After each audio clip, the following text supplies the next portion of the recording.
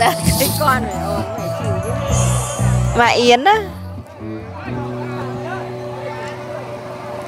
Vâng, thưa quý vị thân mến, quả thật là một lời ca thì bằng ba lời chúc. Qua phần trình bày của Chào mình chị trẻ đã nói lên những tình cảm thân thương của chú rất là nhiều. Hôm nay có đám cưới và cái nhà Nhà của chú rể đoạn. Ở tầng dưới thì ở tầng trên thì xây cho Yến ở kìa.